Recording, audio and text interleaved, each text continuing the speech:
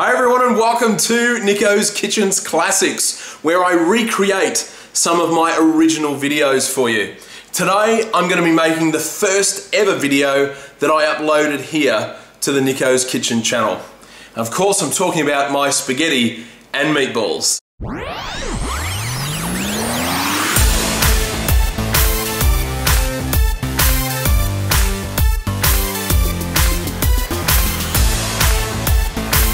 So guys, the first thing that we're going to do to get started on my spaghetti and meatballs, just into a large pot, we're going to start making our sauce. So, first thing is just some olive oil, and I'm going to be putting in some onion that I've just roughly chopped up. I'm also going to be adding in some bacon that I've just chopped up as well. Now, I love bacon in the sauce, and this is not an authentic Italian recipe. This is just something that I've been cooking for years and years and years and my friends and family keep coming back for. Now I'm just going to season with some pepper. I'm not going to season with some salt because the bacon is quite salty. And I'm also going to be adding in some garlic paste and just give that a good mix around. And I just want you to cook this down for about two minutes, just, in, just until that onion starts to soften. So once the onions have softened, the next thing I'm going to be adding in is some chopped up mushrooms. And again, just give that a mix around and just cook the mushrooms for a further minute just until they just slightly soften again. Now the onion, the bacon and the onion is cooking along nicely and now I'm going to be adding in some tomato paste. And next I'm going to add in a can of chopped tomatoes. And very last I'm going to be adding in some chopped parsley, some fresh parsley.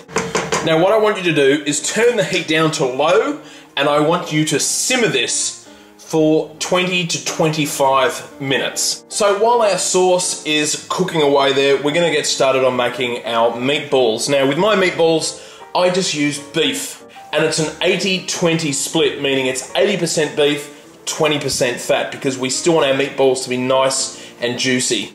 Now to our beef, I'm gonna be adding in some dried breadcrumbs. I'm also gonna add in a dried Italian herbs mix. I'm going to season with some salt and pepper.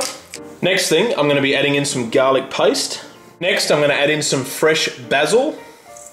Now next thing, I've got some Parmesan cheese just in here, some fresh Parmesan cheese. I'm just going to grate it just in there.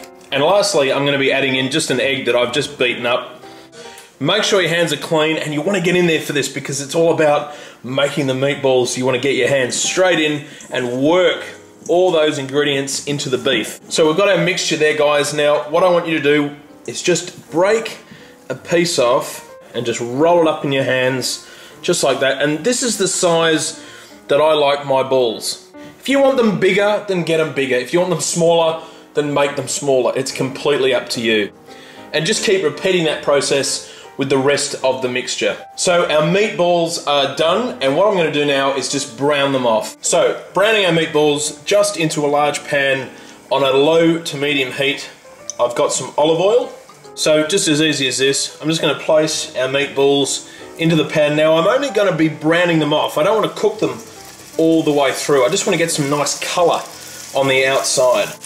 And I only want to brown these off for about two minutes. So that's what we're after with our meatballs just browning off on the outside. Now guys, I'm gonna be adding back in our pasta mix to our meatballs. So I'm just gonna be pouring them over just like that. Now, I'm gonna turn the heat down to a low heat, and again, I'm going to simmer this for a further 20 minutes.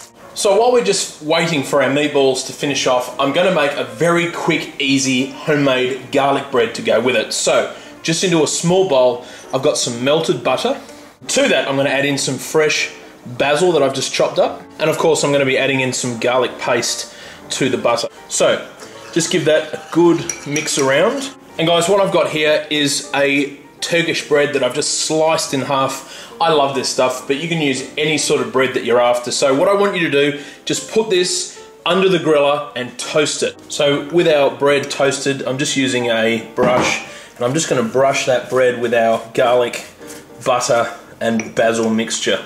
So our garlic bread's done. It's time now to serve this bad boy up.